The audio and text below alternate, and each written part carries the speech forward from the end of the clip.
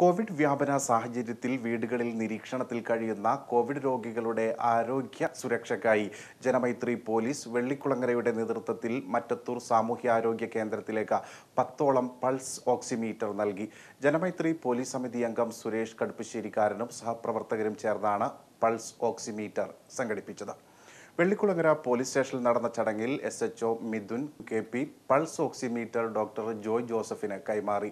S I Davis P R junior health inspector M M Manoj A S I K K Biju Janamaithri beat officer P S Saneesh Janamaithri police സമിതി അംഗം സുരേഷ് കടുപ്പശ്ശേരിക്കാരൻ എന്നിവർ പങ്കെടുത്തു.